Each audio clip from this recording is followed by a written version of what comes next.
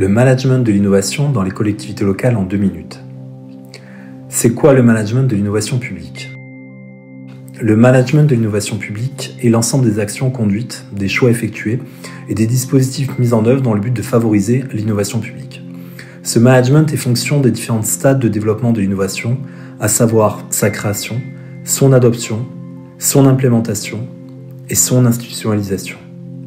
Deux composantes fondamentales structurent le management de l'innovation publique. La première composante a trait à la définition des objectifs et à la sélection des moyens qui vont encadrer le processus d'innovation. La seconde composante concerne les actions d'animation, d'implémentation et de pilotage des processus d'innovation. Dans le cadre d'une innovation de plus en plus ouverte et interorganisationnelle, le management des interactions et des collaborations représente un enjeu fondamental visant à créer un écosystème d'innovation.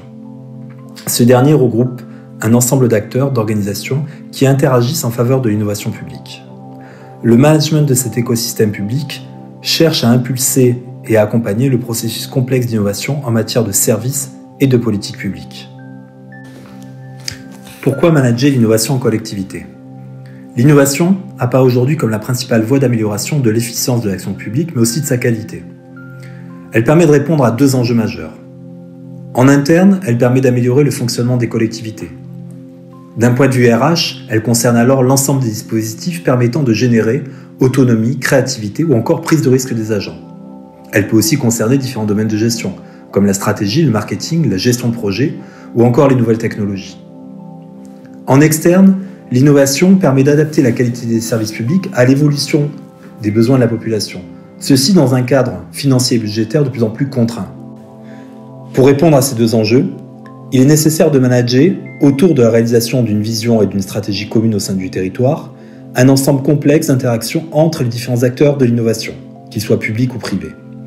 Ce management peut alors passer par la création d'une communauté stratégique d'intérêt et de valeur structurée en réseau autour d'un leader public. Il peut aussi consister à favoriser la capitalisation et la diffusion de connaissances et, plus généralement, les apprentissages et l'intelligence collective. Comment mettre en œuvre le management de l'innovation en collectivité? Bien que plébiscité, les innovations ont du mal à s'implanter et à produire des résultats significatifs au sein du secteur public. Ceci pour deux raisons principales. Premièrement, un contexte organisationnel local peu favorable à l'innovation, souvent marqué par la rigidité des procédures, par la faiblesse des incitations, par un fonctionnement vertical ou des structures cloisonnées.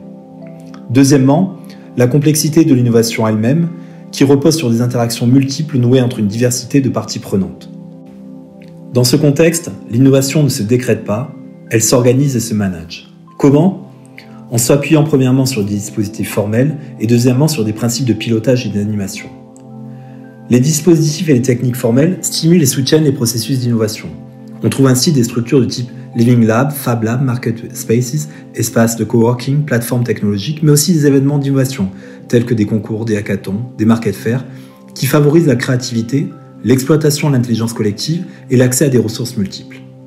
Deuxièmement, le management de l'innovation regroupe aussi les stratégies et les actions visant à générer une culture et des comportements favorables à l'innovation, la transversalité, des comportements collaboratifs, l'ouverture et la prise de risque. Ce management concerne à la fois l'interne et l'externe de la collectivité, notamment en prenant en compte les besoins et avis des usagers. En conclusion, le management de l'innovation représente une démarche importante dans le contexte local actuel, en favorisant la transformation de l'action publique de manière ouverte et partagée. Cependant, compte tenu de sa complexité et de son originalité, un certain nombre de questions restent en suspens. Quels sont les outils mobilisables pour innover en collectivité? Quel rôle pour les différents acteurs publics dans ces processus d'innovation ouverts et collaboratifs? Quelles nouvelles compétences et fonctions doivent développer les agents publics dans ce cadre?